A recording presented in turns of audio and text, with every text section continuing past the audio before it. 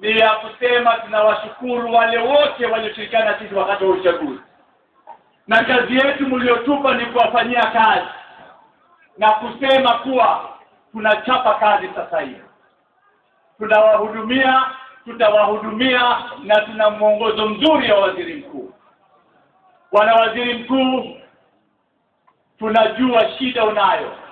Tunajua ile ahadi umetupa utatekeleza tumeona mambo ya katiba umeanza kunyorosa sasa. Naamini kuwa hivi karibuni baada ya mwaka tutapata katiba mpya. Na hapa pwani baada ya mwaka pia tupate majimbo yetu. Waziri mkuu ile ndoto yako ya, ba, ya kuwa bandari huru. Bandari ya Mombasa iwe bandari huru. Hili ndio shamba kila wapwani peke yao hili ni shamba la bara la Afrika. Tumeona tangu uingie umeingilia mambo hayo umeanza kurekebisha. Tunakwambia tunakushukuru na kusema sasa tunataka bandari huru hapa Mombasa. Kwa sababu vijana wote hawa waanze wapate kazi hivi karibuni. Hiyo ndio tunataka. Na tunajua wewe ukiingia bandarini kesho mambo mazuri yatakuwa juu ya vijana hao wote ambao wako hapa. Pia waziri mkuu tunalia wivu. Kule Nairobi tumesikia kuna Nairobi Metropolis.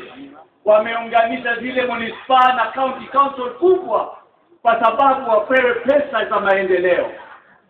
Tunakuomba hapa Mombasa tupeleke mipaka yetu pia tushikane na Tiwi tuende mpaka Mariakani tuende mpaka Kanamai tupanue Mombasa tuweze kuleta watu wa rasilimali watufanyie mitambo na kujenga taifa letu.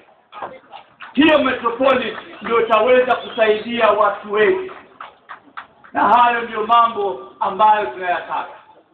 Kwa hivyo mheshimiwa waziri mkuu leo ni siku ya kumpongeza ndugu yangu mheshimiwa Kajembe yeye na mabibi zake yeye na familia zake na yeye na watu wake wachangana walisimama kidete wakati wa shida na leo tumekuja kumtuza hapa kwake kumwambia tuko pamoja na tuko pamoja na watu wachangana kwa hivyo jambo langu la muhimu ni kumkaribisha mheshimiwa Kajembe rasmi aje hapa atututolee hotuba yake halafu amkaribishe mheshimiwa waziri mkuu. Mheshimiwa Kajembe karibu